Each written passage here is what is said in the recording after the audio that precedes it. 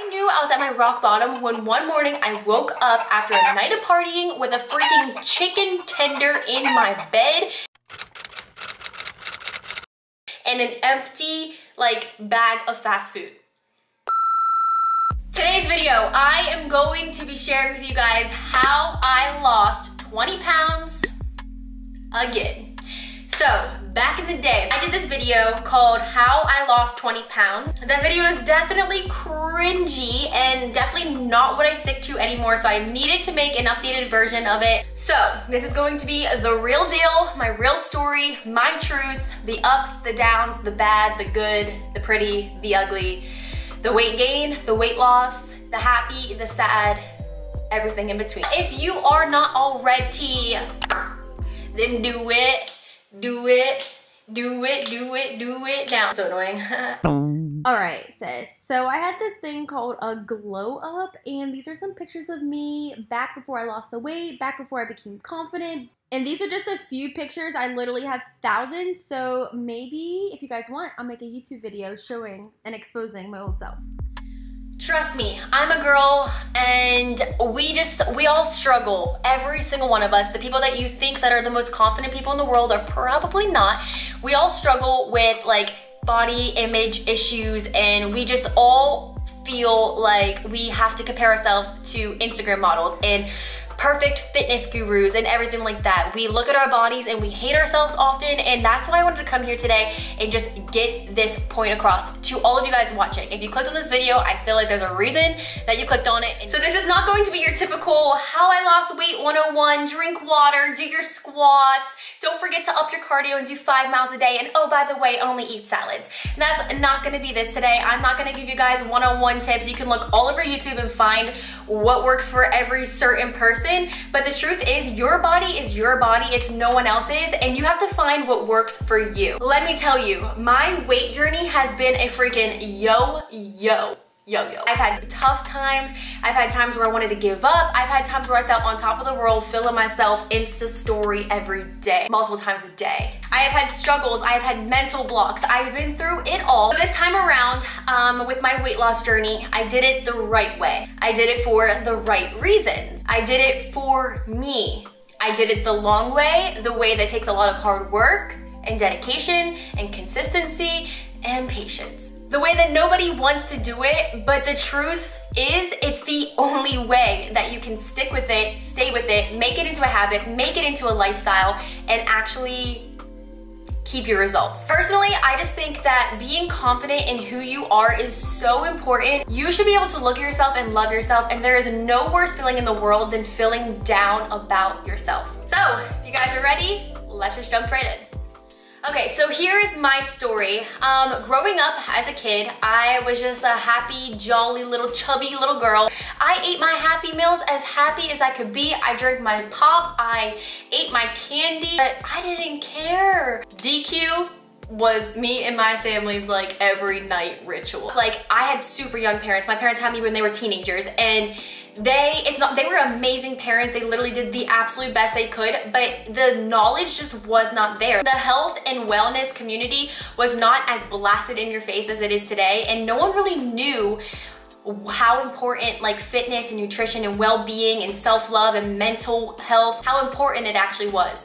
So growing up, like my parents didn't know any better. They fed me what was easy, what was convenient. It doesn't make you a bad parent at all, but it would just be so much more beneficial to kids these days if parents would step in and really monitor what their kids are eating and live a healthier lifestyle so it's not as hard for them growing up and having to go through the struggles of bullying or go through the struggles of self confidence issues or mental health issues and even just like physical health issues. It's so important as parents and as an older generation to really leak that knowledge into younger generation. Anyways, that was like a Dr. Karissa rant right there. Back to it. And then growing up, like middle school, I went through like a skinny stage. I think like that's when I'm getting taller and everything like that that. So it wasn't that bad. High school is just when like you and your body are changing the absolute most. Like you get your period and you start growing boobs and your butt starts growing and you start getting thighs. And I literally remember like being in high school, like measuring my thighs, being like, oh my gosh, my thighs are so big because I can't fit my hands around it. I just like, I didn't have any knowledge. High school was kind of hard for me with self-confidence issues, but I really had no idea. Like back then I used to be like, oh my gosh, my life is so horrible. Like I'm not like a toothpick like Susie. I'm while I'm eating a chocolate bar type of thing. Like that's how I dealt with high school. But at the same time, like when I think back, I really don't think sorry.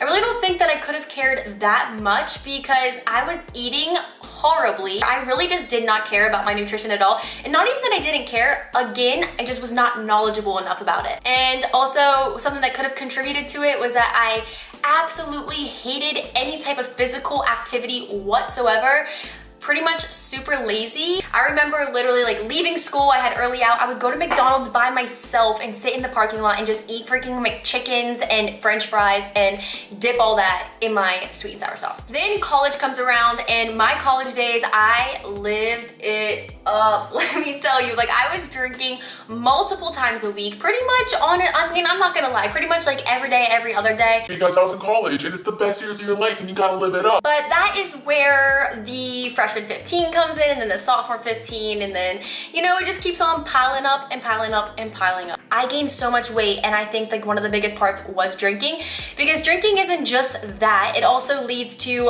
running to fast food at two o'clock in the morning after your night out of partying and eating and falling asleep in bed with food. I was at my rock bottom when one morning I woke up after a night of partying with a freaking chicken tender in my bed and an empty like bag of fast food. One chicken tender that I didn't get to because I must have fell asleep drunk. So yeah, college was like binge eating, margaritas, endless mimosas, like you name it, I did it who was I? I definitely put on a ton of weight and I just was not confident in myself. I just made poor decisions because of my lack of confidence. And the craziest part about it is that I literally barely ate in college. And that's the thing, I couldn't understand. I was barely eating. I'm like, dude, the only thing I'm doing is drinking and then eating fast food late at night, one meal a day, can't hurt me. But the truth is, it will hurt you. So in college, I did go through like a breakup and I feel like that was one of the biggest parts that I had anxiety and I was like stressed out. I knew in my heart that me and person were not meant to be together, but it was just like, whoo, rejection. I go straight to the mirror, I look at myself and I'm just like, you're fat. I start grabbing myself. I'm like, you're chubby, you're not cute, you're not pretty. And then that's when the mental battle goes on in your head. I told myself, I was like, you're gonna lose weight. So I did, I got to the gym every single day. I started eating a lot healthier, but at this point in my life, it was a mixture of doing that, but plus a ton of anxiety. It was just like the stress of college, the stress of being away from my parents and like going to school out of state. It was the stress of going through that breakup. It was the stress of like pressure. I had just started my YouTube channel and I was like, I can't quit. Like I have to do this, but like these people can't see me sad and upset and all that kind of stuff. So I ended up losing a ton of weight. I think it's different for every person. Like some people, when they're super stressed out, they gain weight. When some people are super stressed out, they lose weight. And I'm that that type of person. But along with like weight losing, like I had no muscle. I was literally a noodle. I was stringy. I like looked sucked in the face, pale, just like no life to me, no glow to me, no nothing. And I started seeing weight come off and I started seeing the scale drop and I kind of like got addicted to it. And I can be the first to admit that I was way, way, way, way, way under calories that I should have been eating. I was barely eating and if I did eat, it was literally strictly salad with like no dressing and I just, I took it too far. I would never treat myself, I would never let myself like have anything besides alcohol of course because that's really healthy. Then I created this YouTube video that like kind of went viral back in 2016. So, um, I definitely lost the weight but I just did not do it the right way. I did it as a 30 day challenge. I ended up losing some weight and then I indulged right after. I started binge eating. I went back to drinking drinking alcohol like crazy. Never looked in the mirror and was like, oh, look at you, girl. You was popping. Like I had no confidence. I was just, I was just floating. I was just at this floating stage where I was like, you know, I could be better, but I don't want to take the time to be better. I don't want to have the discipline or the commitment. I don't want to make the sacrifices. and I was just like, I need to do something. I need to be better. I had this like longing feeling to just transform my life. I wanted change. I wanted something to happen. I wanted my life to just excel. I knew that I wanted to like meet somebody and I did. I knew I wanted to get in the best possible shape of my life and I did. I knew I had to make sacrifices and get rid of a lot of toxic things in my life and I did. I knew I needed to start working out and being consistent and dedicated with it and I did. I knew I needed to make nutrition literally my number one priority and I did. And I also knew I had to live a balanced lifestyle because this is not just gonna happen overnight. And I did. Was all that easy? No. Was it the hard way? Yes. So now let's talk about where I am today. I quit drinking, I took my veganism super serious.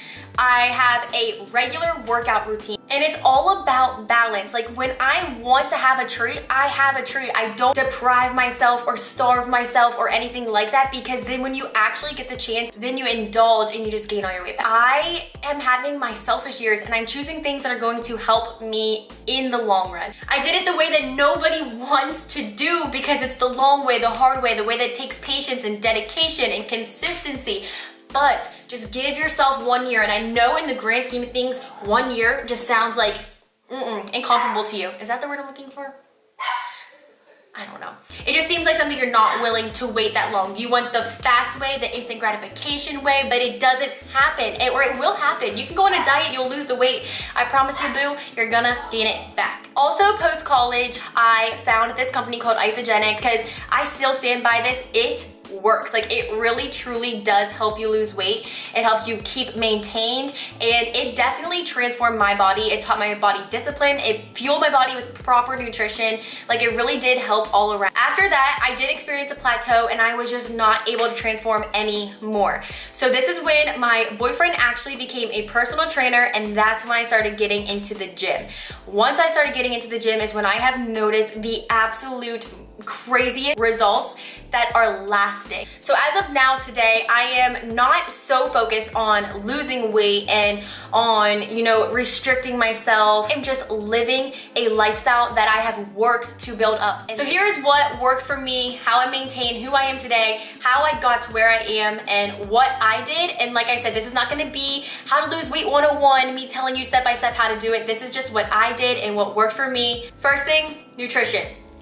I eat so healthy. And at first, healthy was like, oh, that's so hard.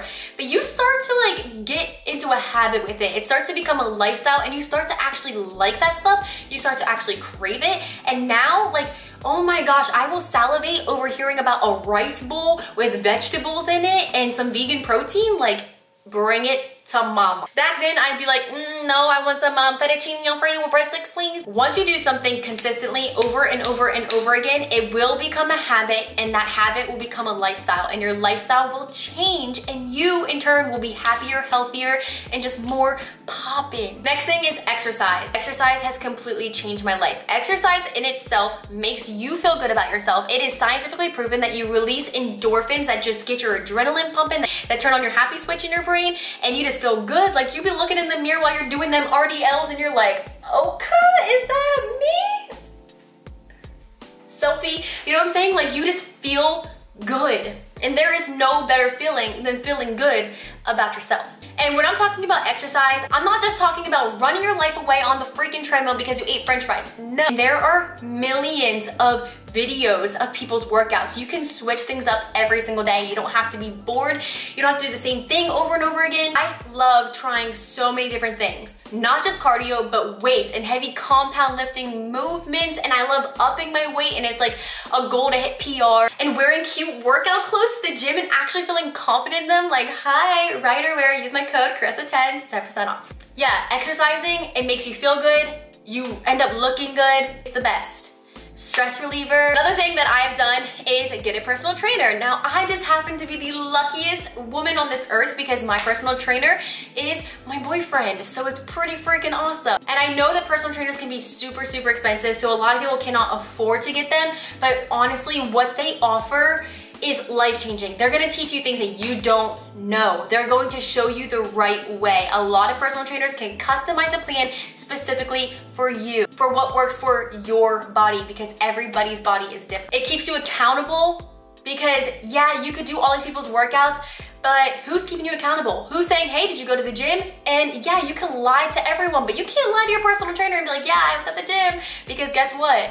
He's either there with you or he or she will look at you and be like, mm-mm, you ain't been in the gym, honey boo boo. It's good for accountability and it's just so good to have that partner there to push you through, to support you, to teach you, to help you, to grow you. I'm gonna do a little plug for my boyfriend here. Here is his Instagram, message him. He does custom plans specifically to you and I can promise you he's a lot more affordable than a ton of personal trainers out there. He also offers plans that you can buy for like 50 bucks, like super cheap ones. They're not customized towards you. They're usually like 30 day challenges challenges or something like that. He's also releasing an at-home launch, so if you guys don't have access to a gym, you can do his at-home launches. But for a super affordable price, he will get your macros for you. He will help you with nutrition. He will give you a customized workout plan for you. And you're gonna get accountability because trust me, he checks in and he makes you send pics. Next thing, and I'm so happy to be able to say this because it is the greatest thing in the world. I eat more. Like I don't just like beat around the bush like, oh, just have a little bit of this salad. I'm just gonna, oh, just, just one, just one little strawberry. No, eat all the fruits, all the vegetables. Give me all the bowls with extra toppings. And if I wanna have a vegan cookie here and there, I have a vegan cookie here and there with ice cream on it. Thank you. Seriously guys, eating more, upping my calories. I, the more I'm eating, the more I'm burning.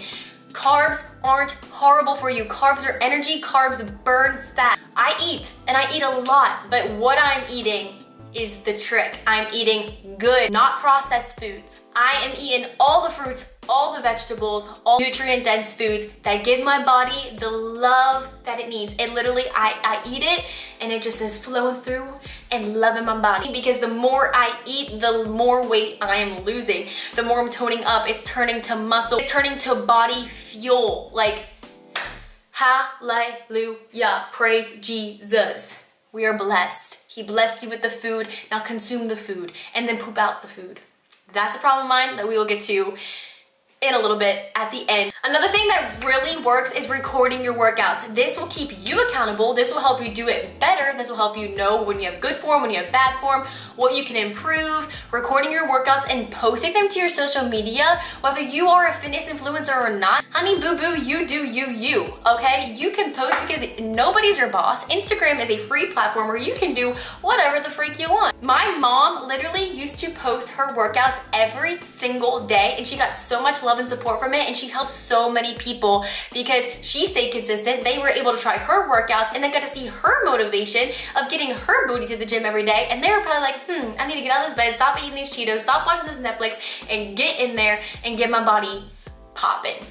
I'm getting fired up. I also switched over to only natural supplements. I used to take Fat Burner, I used to take pre-workouts, I used because I've also noticed that those make my anxiety crazy. I only take pretty much all natural supplements now. I will take BCAAs occasionally, but natural supplements I like to take are like B12, being a vegan, you do lack a lot of that iron. I also take like cordyceps powder and Schisandra powder and pea protein, all these different vegan proteins, digestive enzymes and probiotics, vitamin D3, like the list goes on. If you guys are interested in hearing about all of that kind of stuff, then I'll make a separate video about it. Another thing I like and that works for me is doing fasted workouts, especially like if you're gonna do just like core and cardio days, you will feel so good. You'll get the best pump, your abs will pop, you'll feel amazing. For some reason, I sweat more when I'm fasted. I don't know why, is that weird? unless it's leg day. If it's leg day, your girl gotta eat her carbs. I gotta have my English muffin with the peanut butter. I gotta have my oatmeal. I gotta have whatever it is for leg day. I, I just gotta have. And last but not least is cooking and eating at home and how much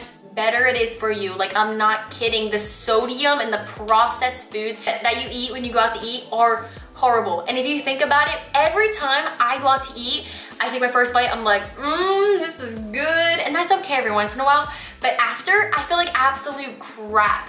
It's for a reason. They that food is so bad. You could literally eat spaghetti at home and spaghetti out to eat and I guarantee you this spaghetti that you eat when you're out to eat is just so much worse for you because it's just filled with crap. So that is just what works for me. A lot of those things you could take and incorporate to your lifestyle and what you do. Now let's talk about my struggles. I have had so many. I was riding the struggle bus for a long time and it took a lot of trial and error to figure out what was wrong with me, what I'm doing wrong, all that kind of stuff. So I'm gonna share with you guys the struggles that I personally had. So hopefully it can help a lot of you guys.